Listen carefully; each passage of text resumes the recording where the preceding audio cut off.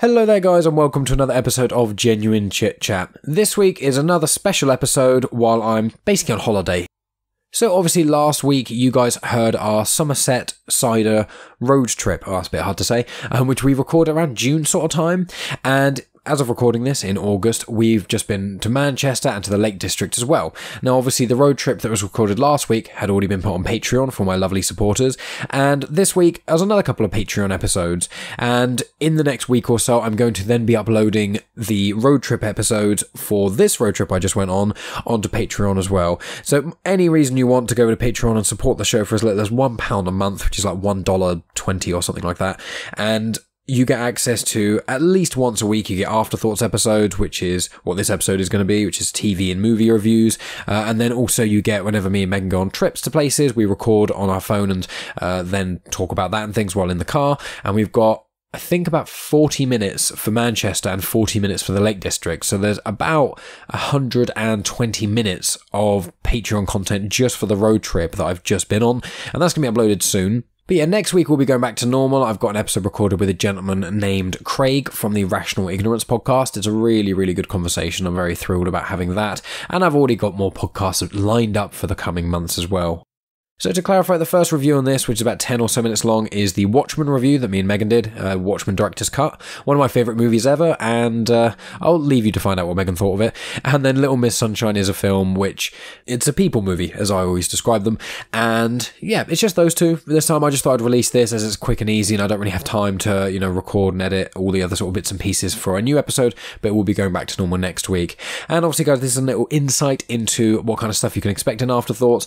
As of now, there's like tens, if not there's, there's probably tens of hours. I don't think I'm quite at the 100 hour mark yet for content on Afterthoughts, but every week I release something on there. Often I'll release two things, and on this main feed, when part one of an episode drops, on Patreon, part one and part two drop in one big unsplit episode, and then whenever part two drops on this main feed, Patreons get a little extra something uh, on the same day of release too. So there's lots of reason to check out my Patreon, patreon.com slash genuine chits chat. I'm going to link to it in the description as well, and I know a lot of you guys do support it already, but any more people willing to support the show for only only £1 a month really, really means the world to me. If you enjoyed this sort of thing, this is exactly what you can expect. You get a link to an RSS feed, you can put into the podcast player of your choice, whether it be Overcast or Pocket Casts or any of those things. I'm not going to list all the podcast apps, because I'll be here all day. But, you know, it, it supports the show, means the absolute world to me. Uh, but if you can't do that, you know, share the show on social media, tell your friends about it, leave reviews on Podmatch or Podchaser or any of the pod apps that you listen to on, you know, even Apple Podcasts and things like that. You know, any amount of speaking about or reviewing or sharing or anything like that just really means a lot to me if you don't want to financially contribute to the show.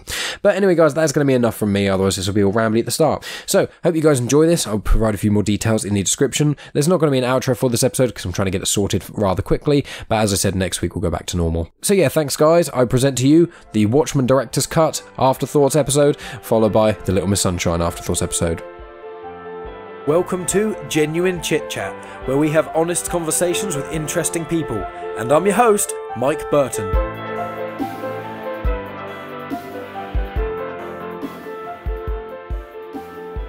Okay, so we watched the director's cut of the Zack Snyder film Watchmen that was out in 2009, I think and it's one I of wish my we hadn't. well, it's one of my favorite movies. Uh, the director's cut is twenty minutes longer than the standard, so the director's cut is three hours long.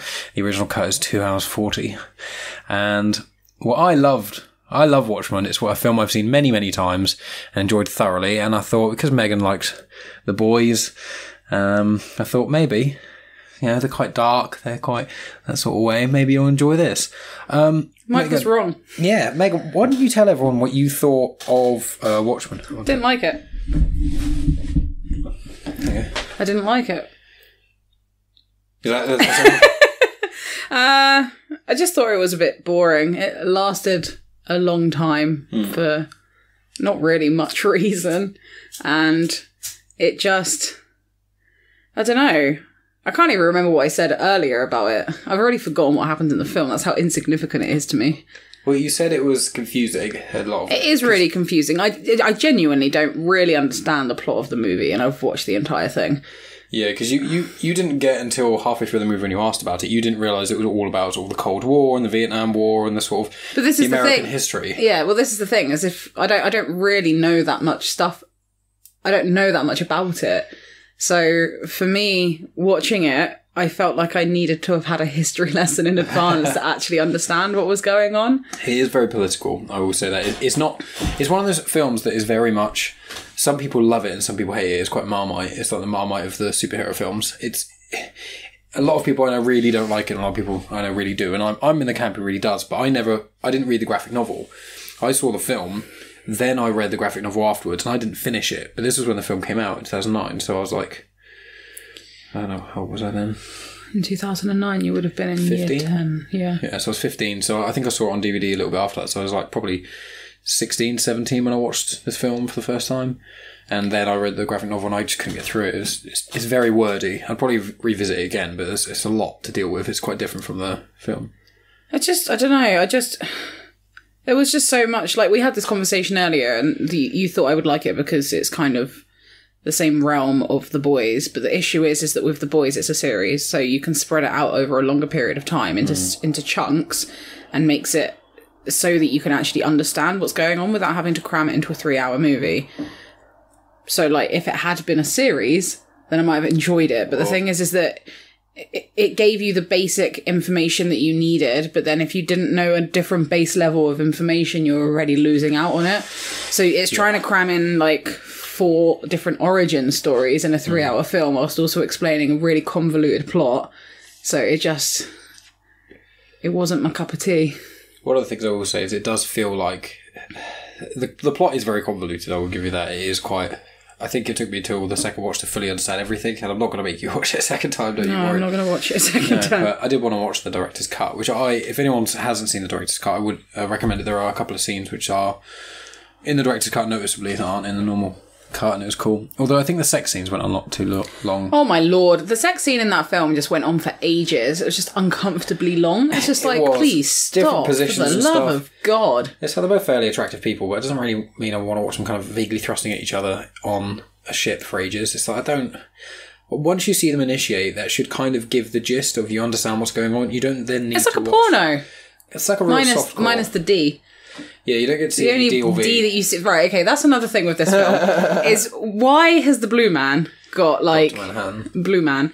Why, why has the blue man just got his dick out all the time? And people think that that's a normal thing. And then there's that other scene where fake Batman is in his like lair and he's there and he's just completely naked and the girls go the girl goes in and she's like well yeah this is normal it's, it's normal for superheroes just to be walking around completely naked all the time like my boyfriend does it this guy does it like it must be a thing it's just i don't understand Yeah, that, and the blue man is so dull like oh my god he's so boring It, you did bring up a question, which was like, how come Silk Spectre liked him so much? And the answer was, like, I don't know. I mean, maybe p- power or safety in some way. Like he's just so intelligent. and Maybe that's an attraction, but he is very bland. He's so so dull, and like the other characters just is really weird. Like there's the weird mask man, which is a Rorschach. fake fake scarecrow. Rorschach, he's amazing. I like Rorschach. Well, he's not amazing. I don't like him He's as a person. fucking but nuts.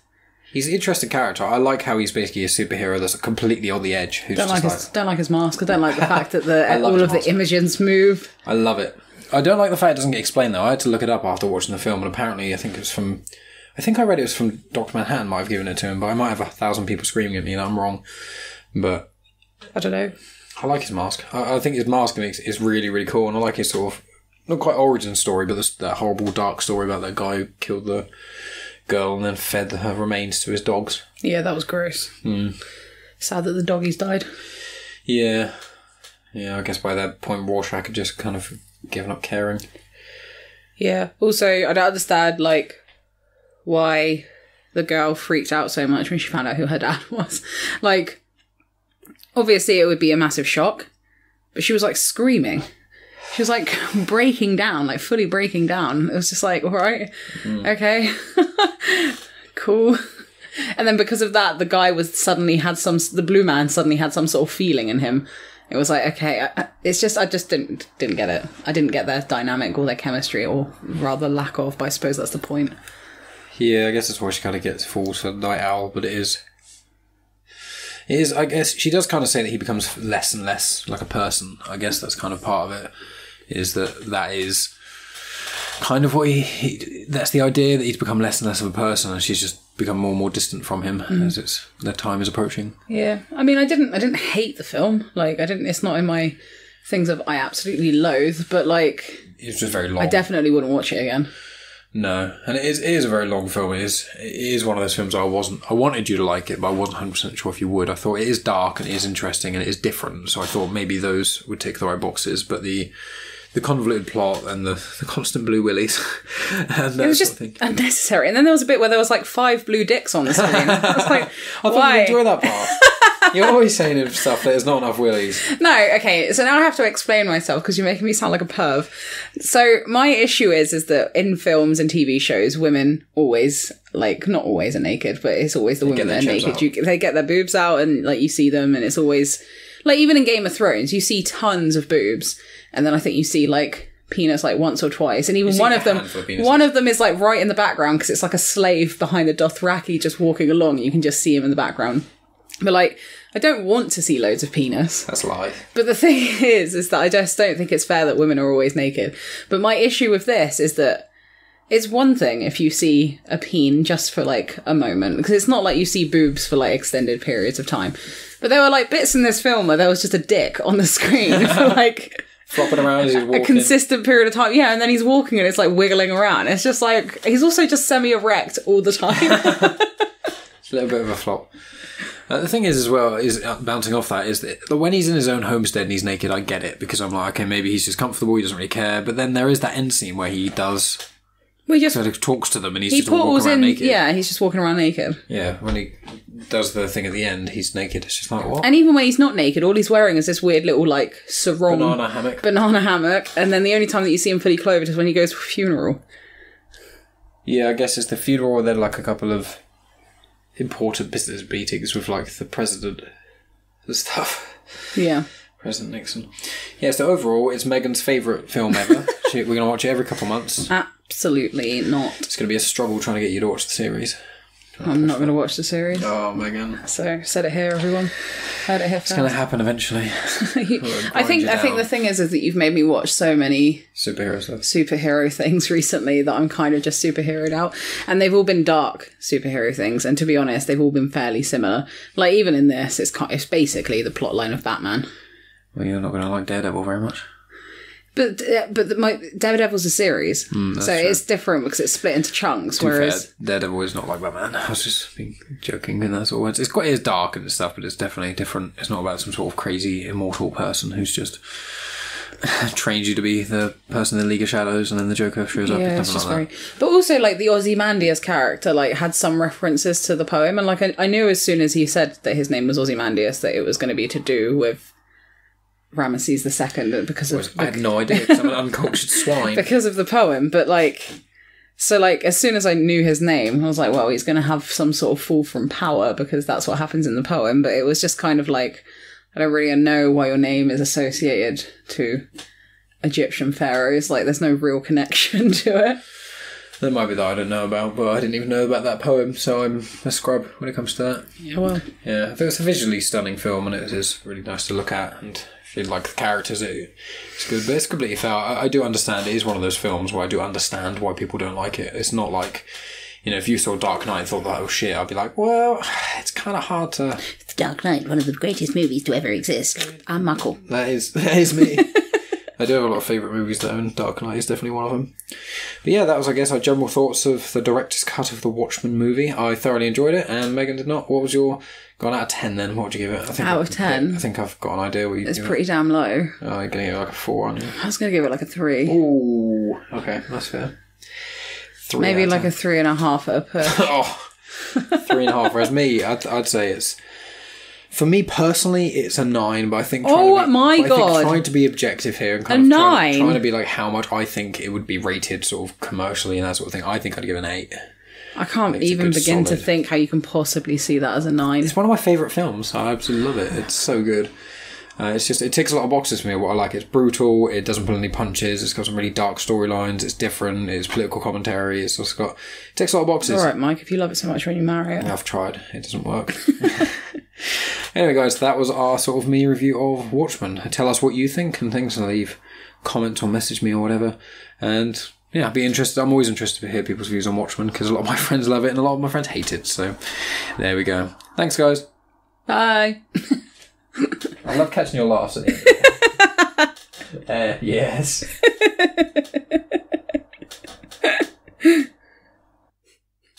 there we go. And there we go. And there we go. And there we go. And there we go. And this is Michael using his podcasting voice. This is Mike using his podcasting voice. I don't think the mic's well enough. And there we go. And there Look at the size difference in the soundings. 21, 1, 1. So we're here with another afterthought, and we only recorded the other one about well, probably about two However and a half it, hours however ago. long it takes to watch Little Miss Sunshine. Well, yeah, it was about 135 minutes, so yeah, about two, maybe two hours ago. Uh, we watched, what was it? Uh, How to Lose a Guy in 10 Days. Wasn't a big fan of that, but it's Valentine's Day, so we watched another film, and um, Something one- completely polar different. Yeah, although the Daily Mail on the DVD I've got, it's got like a five star rate from the Daily Mail, which obviously isn't really meant to go for, and it said one of the funniest comedy films of the year. And it's like, if you've seen Little Miss Sunshine, you know it's not that funny. I like I like Little Miss Sunshine. I love I love this film. yeah, it's great. But yeah, it's not it's not a comedy film. Like there are funny there are funny parts in it, but most of the funny parts Quite dark. come from dark places. Yeah, so yeah, I, I wouldn't call it the best comedy year. No. Comedy film of the year. Like it's, I wouldn't class it as a comedy really. It- It's one of those class of films that I kind of class as people films. There's the film Way Way Back that is reminiscent of this, and I think it's made by the same studio. And obviously, both Way Way Back has Steve Carell and Toni Collette in it, and she's great in everything I've seen her in. She's in Hereditary as well, which is excellent. And obviously, everyone should know who Steve Carell is. Um, but I looked up the directors, and it's two people, Jonathan Dayton and Valerie Faris, and they both made Ruby Sparks, Battle of the Sexes, and the Smashing Pumpkins movie, I presume. Um, so that's about it. I don't really, I don't think I've seen anything else from them. Um, but yeah, I mean, it, it's a really cool film. For anyone who hasn't seen it, it's, it's definitely the premise sounds really dark and sounds very. The thing is, is I don't even really understand how to explain what this film is about. I find with films like this, you can't really say that much about the plot without giving away the film.